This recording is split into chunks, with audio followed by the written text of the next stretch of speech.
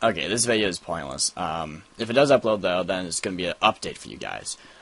So I don't know what the hell's going on with YouTube right now. I uh, I click on upload video, I click on the video I want to upload, but instead of popping up with the you know the title info for me to change and all that shit and showing the progress bar, it doesn't show anything. It just sits there like it isn't uploading anything.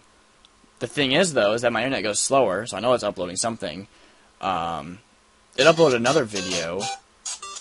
Uh, it was a small video, granted. So I don't know. I'm not sure what's going on. I don't know if it's actually uploading it or not. I'm going to give it a shot when I go to bed.